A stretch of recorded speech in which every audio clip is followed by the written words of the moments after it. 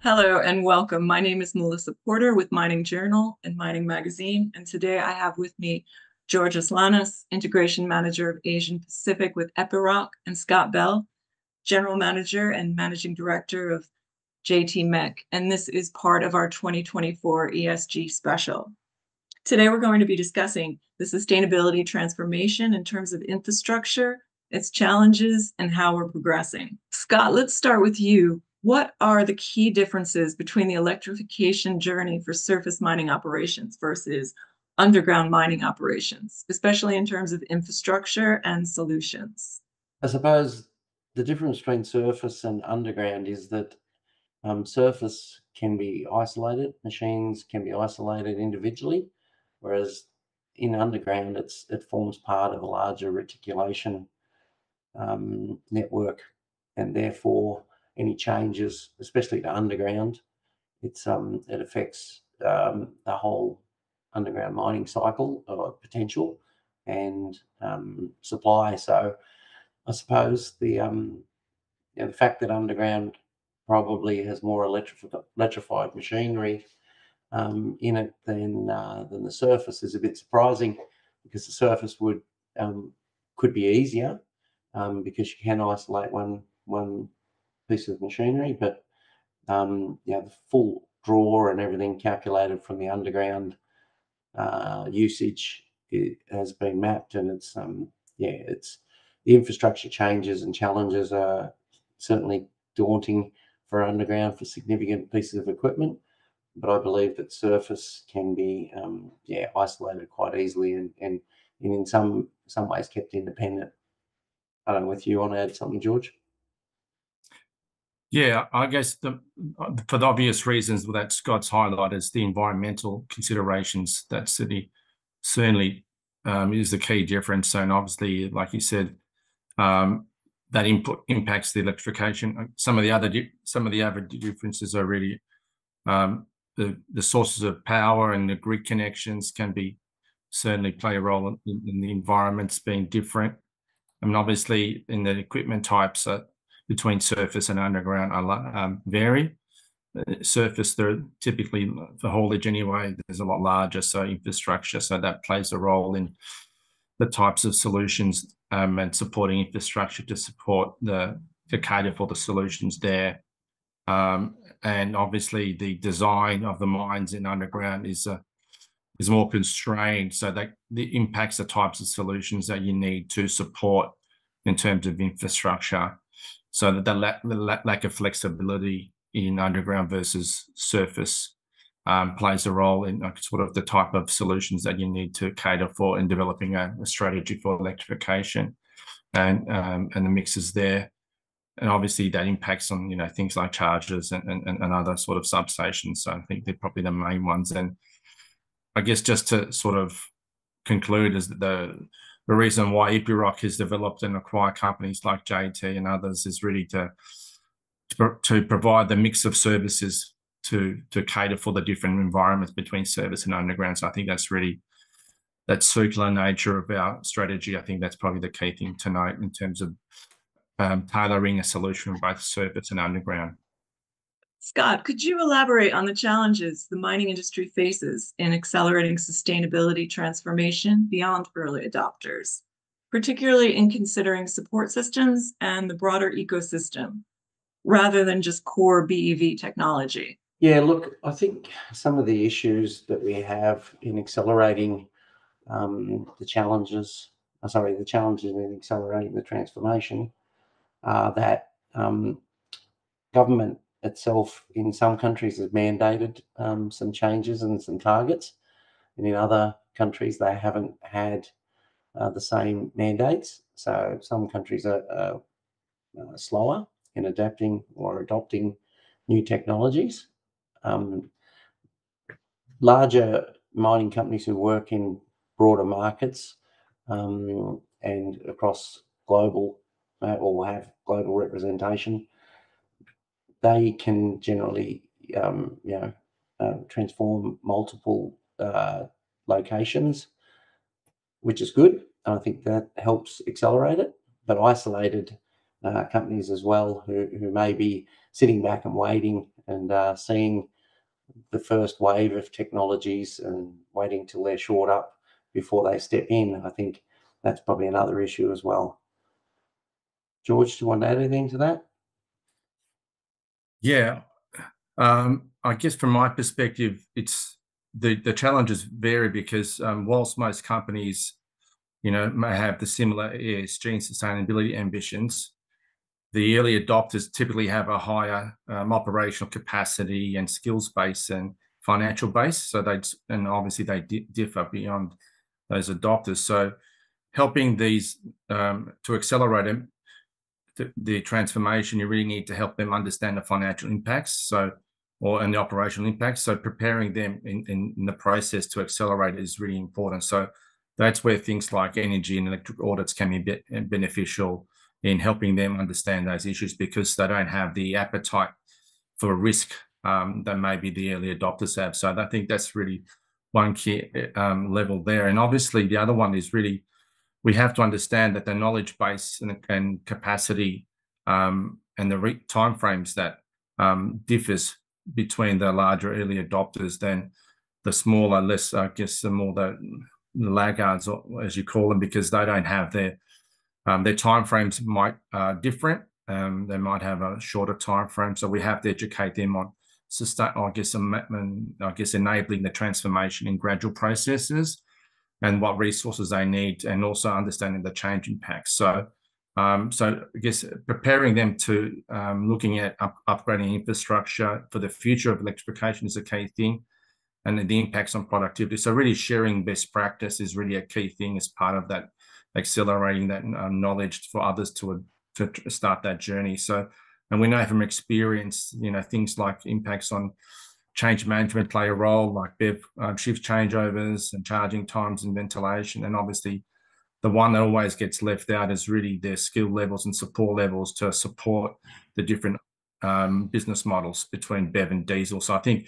that skill-based change is really a key thing. So the better we educate and prepare more customers, that the, that that way we can help accelerate the transformation. Otherwise, they'll get in the cycle of repeating, I guess, some of the lessons of the early adopters, which we don't want to do. So I think that's really important part of the industry to, to share knowledge and transfer that.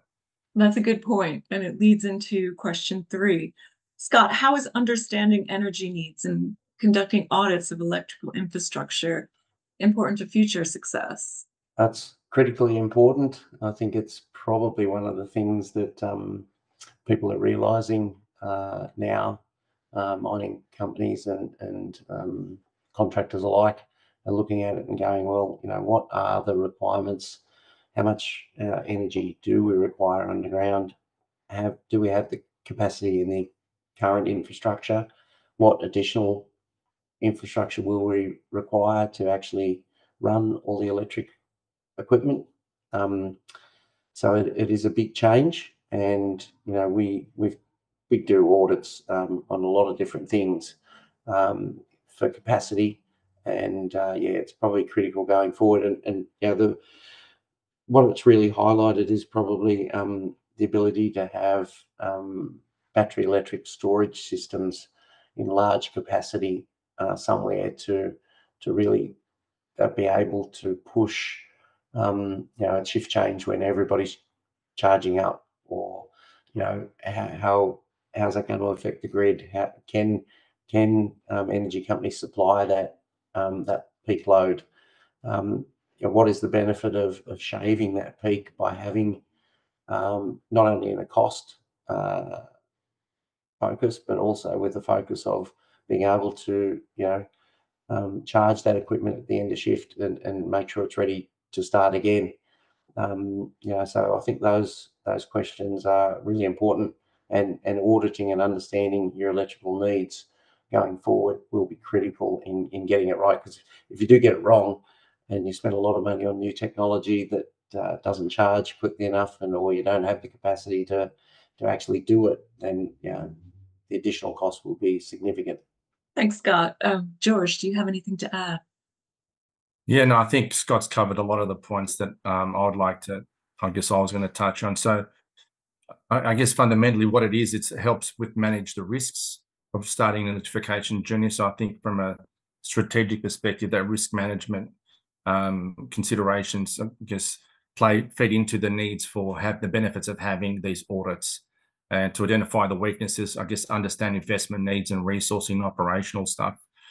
Uh, and obviously, the key thing that people forget it's a bit like automation when you mine set up a mind and a communications network for automation you need to understand the impact on the grid uh, for energy um, and also plan for future so really i think that can help in that process and obviously from a corporate governance perspective it helps with understanding what reports and information they need to meet their esg and sustainability um, requirements so um, I think that's really a key um, a key consideration. Provides a foundation for that sort of for that journey. So know, uh, typically when, like Scott said, we do an audit, it really identify those areas of consumption, even waste areas and costs, and it helps them to, I guess, manage that risk of, moving that transition to electric vehicles. So I think it, it plays a key role, and it's something we're trying to educate a lot of minds around the benefits of that. So we're, I guess, that's one of that key strategic, I guess, capabilities is really to help customers on that journey.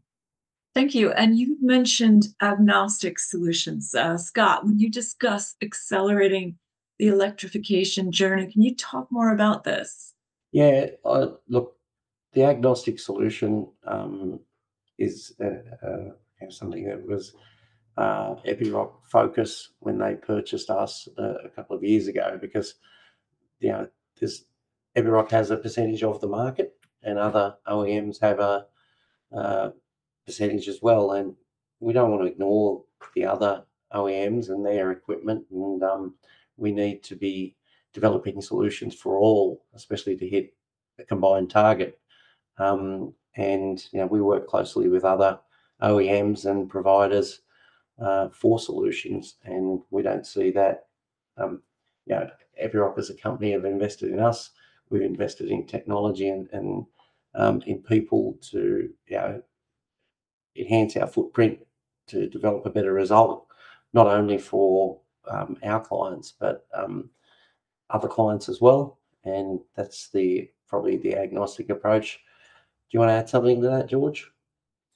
Yeah, I mean, I guess one of our considerations is that we believe um, that electrification is more than BEV equipment, so you need to have agnostic solutions. So I think that's really the key thing to note. So a lot of our products and charging products are based on industry standards and really try to, I guess, align them with GMG guidelines. So um, that's really, um, you know, with JTMEC have got this, for example, these light vehicle chargers, which aren't specific to Epiroc, the industry standards. So because we understand, like I said, to help, we want to help our customers on that journey. So, and typically doesn't always involve our our equipment.